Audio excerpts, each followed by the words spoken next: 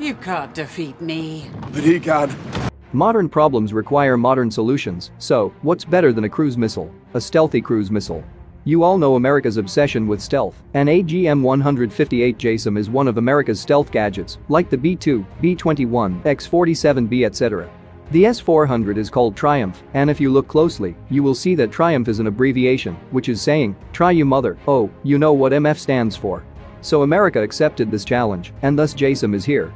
A B-2 can be armed with 16 JASSMs, each with a 1,000-pound warhead and 250 miles of range, but with subsonic speed. But guess what's better than a B-2 with JASSM? A B-21 with a JASSM XR with a range of 1,200 miles.